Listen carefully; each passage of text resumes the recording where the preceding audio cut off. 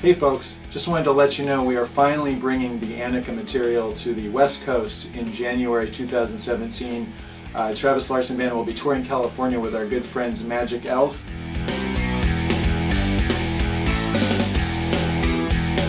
Magic Elf bringing special guest Dave LaRue on bass this time.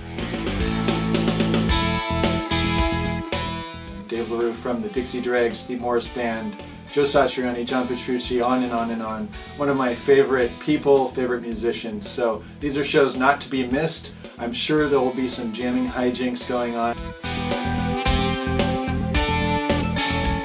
Uh, you will not want to miss these shows. Please come hang out with us.